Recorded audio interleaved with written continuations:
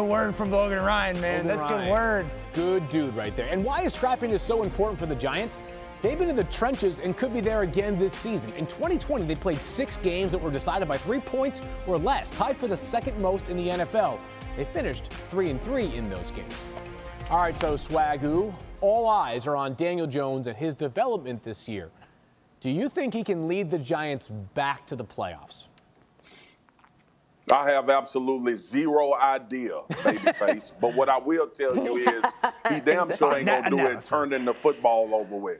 Like, the, the, the, here's the deal with Daniel Jones. Okay. All right, it's two things I want to see. I want to see Daniel Jones play with confidence, and I also want to see Daniel Jones take ownership. And this is why I thought the fight was important because his players saw him and said he in this with us. You heard Logan Ryan talk about it. When you're the quarterback, Dan tells people all the time because he want them to know he's the leader, he's the CEO of the franchise or whatever the hell Dan be talking about. So that's good for Daniel Jones to be involved in that situation. It's dumb, but it's good because if he get injured, we're having a whole nother conversation. The second thing is this: he has to understand that they have made um, they have made this easier for him as a quarterback. Yep. You go out and get Golladay. You solidify defense. You're getting Saquon back off of injury. Daniel Jones is the key to making sure the Giants stay relevant. And if he does, and if he, if the talent shows, they can have a lot of success and easily win this division. Yes, I said it, even with the Cowboys and the Washington football team. Maybe not easily, but they can win this division if he plays at, a, at an elite level. Listen, America, before Dan Orlovsky comes on here trying to talk about how somebody else is the key to this Giant season, let me tell you, it is Daniel Jones. It is because he's the quarterback. You could talk about bad offensive line play. You can talk about how he didn't have Saquon and how his numbers weren't that great when Sa- Saquon wasn't on the field. All, he didn't have weapons. You know what? At the end of the day, you're the quarterback. If you're going to get the glory and all that stuff, you got to take the criticism. That comes with the position.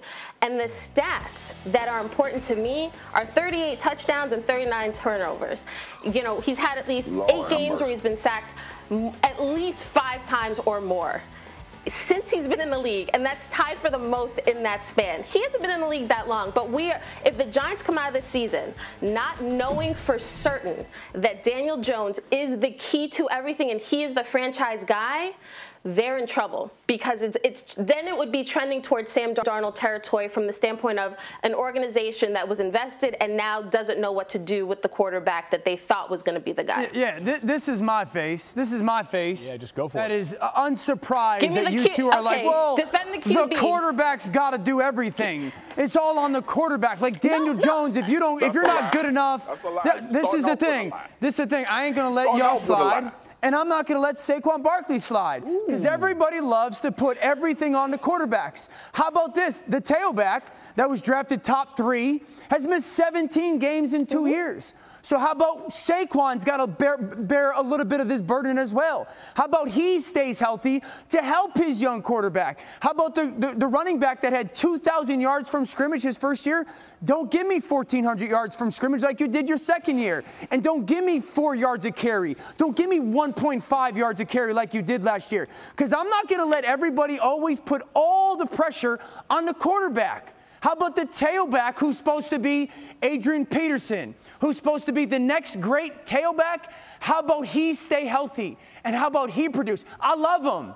But we can't always say, well, it's all on Daniel Jones. No, it's not. the tailback hasn't been available for two Dan- seasons. Dan's and he hasn't been as good as he was his rookie year.